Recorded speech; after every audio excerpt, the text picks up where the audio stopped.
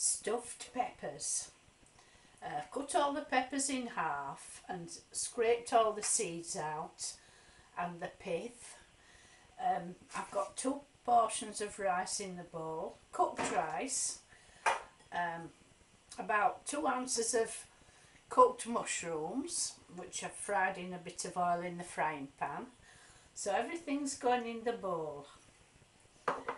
I've got one portion of bolognese sauce which that's going in as well.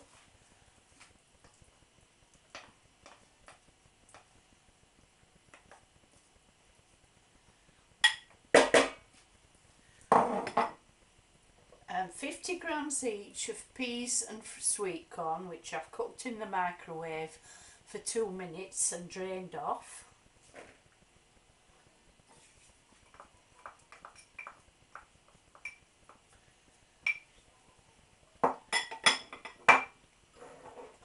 one egg yolk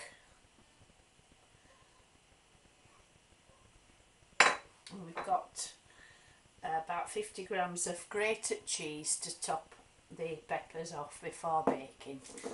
So I'm going to set the oven at, guess what, 200 centigrade, gas 6, 400 Fahrenheit. So all we do is with this is just mix it all together and the egg yolk will bind everything.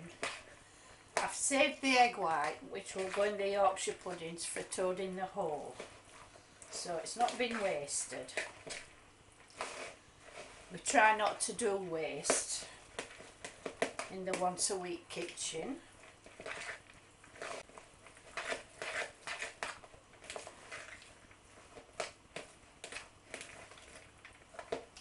So everything's well mixed now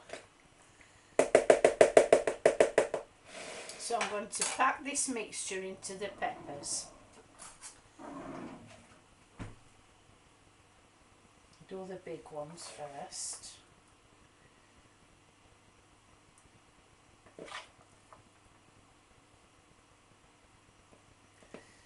We really want to pack it in. Get as much filling in there as we possibly can.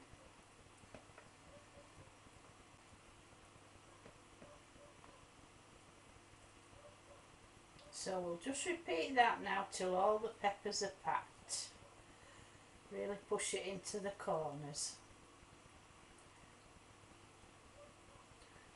On each one it's a sprinkling of cheese. Like so. Right we've got that much filling left over. So on reflection I believe one portion of rice would have been enough for this recipe but I've got a tomato and stuff in that. So I'll have to try and think of something to do with that leftover filling. I might just make it into a sort of uh, type thing and bake it that way if I can get it all to stick together I'll make it into one of those. But I'll just pop the lid back on that tomato and we'll bake that along with the peppers. So all into the oven now for about half an hour to 30 35 minutes.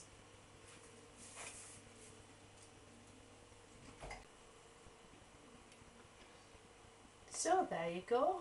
Uh, stuffed peppers and the hot stuffed tomato now there's plenty there for four people. I would serve that up with baked beans and salad.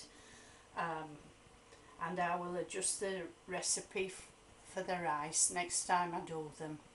So another filling meal for four people. Um, it's all good stuff.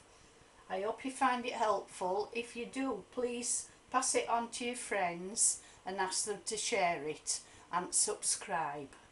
Okay. I'll see you later. Bye.